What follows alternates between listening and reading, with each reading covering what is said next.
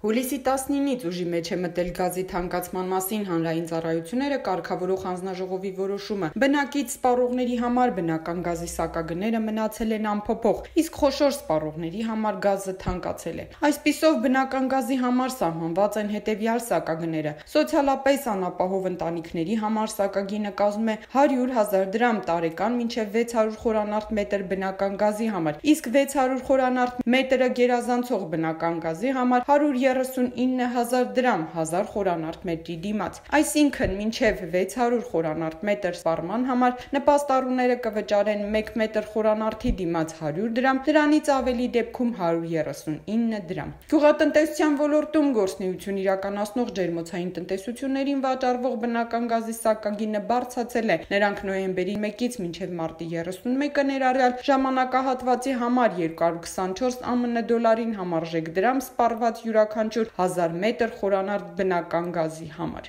Իսկ ապրիլի 1-ից մինչև հոկտեմբերի 31-ը ներառյալ ժամանակահատվածի համար յուրաքանչյուր ամսում մինչև 10000 խորանարդ մետր բնական գազի համար 139000 դրամ 1000 խորանարդ մետրի դիմաց։ Գյուղատնտեսության ոլորտում գործնեություն իրականացնող վերամշակող ընկերությունները պահածոների, խմիչքների եւ կաթնամթերքի արտադրությամբ զբաղվող անձանց վաճառվող բնական գազի սակագինը կկազմի 224 ԱՄՆ դոլարին համարժեք դրամ սպառված յուրաքանչյուր 1000 խորանարդ մետր բնական գազի համար։ Մյուս բոլոր խոշոր սպառողներին, այդ թվում ջերմոցային էլեկտրոկայաններին վաճառվող բնական գազի սակագինը յուրաքանչյուր ամսում մինչև 10000 խորանարդ մետր բնական գազի համար սահմանվել է 139000 դրամ 1000 խորանարդ մետրի համար եւ 10000 խորանարդ մետրը գերազանցող բնական գազի համար 255.91 ԱՄՆ դոլարին համարժեք դրամ սպառված տրված յուրաքանչյուր 1000 խորանարդ մետրի դիմաց։ Այս փոփոխություններն ուժի մեջ են մտել Երևանից բացառությամբ ջերմային էլեկտրոկայաններում